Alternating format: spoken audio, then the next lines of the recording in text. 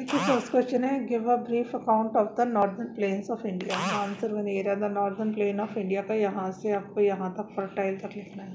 Question two है what do you mean by basin पहले basin का लिखना है second a basin is the total area drain by river tributaries फिर का name three basin the three basin of India are फिर लिखना है number one the Indus basin number two the Ganga basin number three Brahmaputra basin name the main tributaries of river Ganga कैसे लिखना है question से.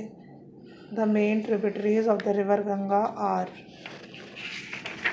फिर आगे लिखना है कौन सी हैं? Gomti, Ghaghara Gandak Kosi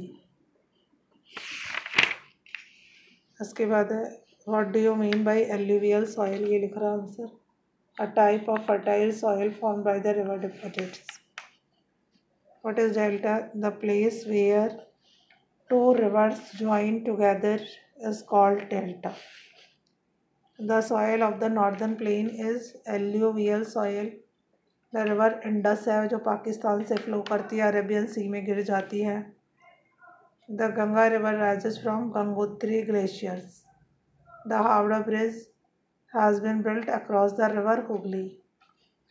The largest delta of the world is Sundarban true false है the Yamuna rises from the Yamunotri glacier true alluvial soil soft और लाइट होती है true the northern plains are not fertile false Indus basin is drought prone area गलत drought मतलब सूखा सूखा नहीं पड़ता, वहाँ तो अच्छा फर्टाइल एरिया है। सुंदरबन डेल्टा लार्जेस्ट है ट्रू अब यह है डेली डेली किस पे है? यमुना रिवर पे बसा हुआ है।